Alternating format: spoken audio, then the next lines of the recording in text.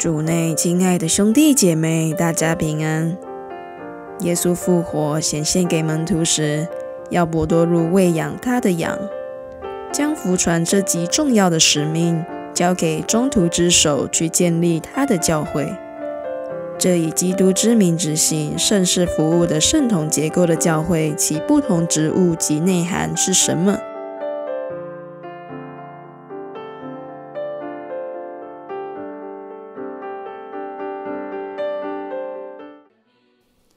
无论个人或团体，没有人能对自己宣讲福音，因为信仰是出于宣报。没有一个人。是自给自足的，无人能给自己恩宠，每人必须接受他人的恩赐。教会内虽有不同的职务，使命却是相同的。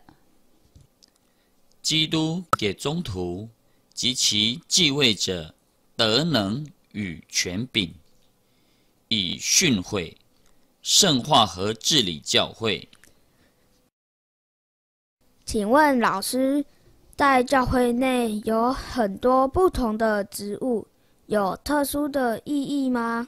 有的，为了天主子民的牧养和成长，在教会内有各种职务，以求全体的益处。例如，圣职人员是为教会的弟兄姐妹服务，使所有的天主子民都获得救恩。耶稣开始公开生活，就选定了十二人做新以色列的种子，这是圣童的起源。为此，每位主教都在主教团及各自的教区内。执行职务，并与罗马主教共荣。基督赋予圣职人员使命、责任和权利，因此他们是基督的仆役。他们为圣言和恩宠服务，因基督之名也成为众人的仆役。司铎。在主教的领导下，在教区的司铎团内，共同执行传福音与牧灵的任务。就如博多路和其他中途组成了一个中途团，同样，继承博多禄的教宗和继承中途的主教们，也是一个整体。基督赐予博多禄束缚与释放的职务，当然也赐给了与首领连结的中途团。教宗罗马主教圣博多禄的继位者，是主教和信友日日可见的中心和基石。教宗对教会具有。完全、最高以及普遍的治理权及神权，能自由使用。世界主教团若不以罗马教宗为首领，便毫无权利。主教团对其教会拥有最高和完全的权利。但这权利必须来自教宗的授权。主教在其教区、个别教会是有形可见的统一与领导中心。司铎与教区主教合作，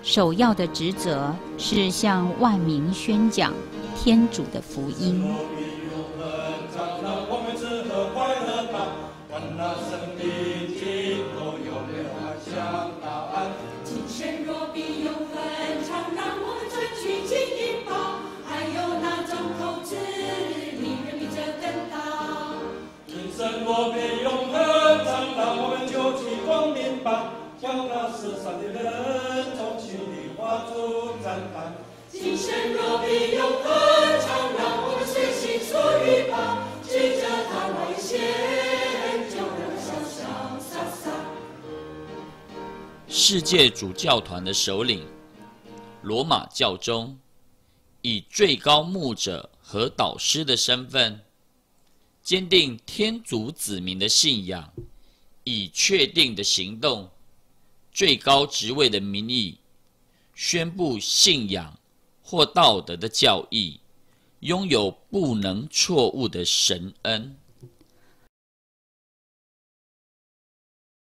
当教宗使用最高训导权威宣布天主启示的当信之道或基督的教训时，所有的信徒都应以谦卑的态度及信德的服从接受。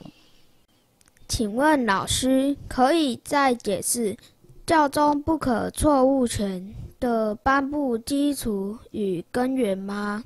是的，耶稣进入世界是为宣告真理，并为真理作证。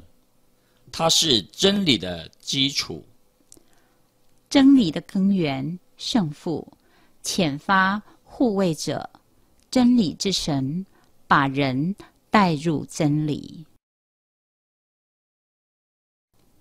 圣神使教会成为真理的柱石。和基础，教会富有长久保存并传授纯正的信仰，使信徒在真理内共融合一的权责。因此，教会不可错误的训导权威，必须在圣神亲临，并与教会共同决定的条件下。才会动用。教宗和主教执行普通训导权，即使没有做出不能错误的论断，也没有决定性的语气，信友能要以敬重的心听从。主教和司铎们以祈祷和工作宣道。和盛世管理圣化教会，尤其是以自己的榜样照顾信徒，不是做托你们照管者的主宰，而是做群养的模范。你来跟随我，是指每人都个别的被召唤，为能在共同的使命中成为个别的见证。向派遣者负起责任，以天主的名义为人服务。因此，教会在圣事礼仪中，以圣山的名义及权威施行恩宠。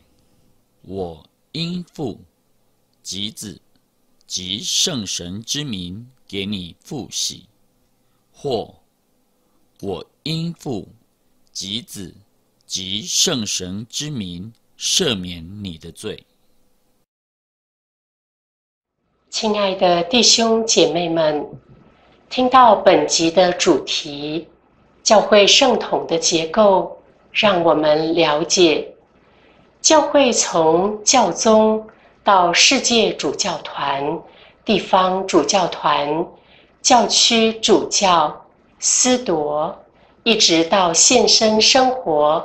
及平信徒，就像葡萄的枝条和葡萄树，耶稣基督紧密的连结共融，谋求教会的益处，使所有的人都获得救恩。今天的教理就分享到这里，我们下周再会。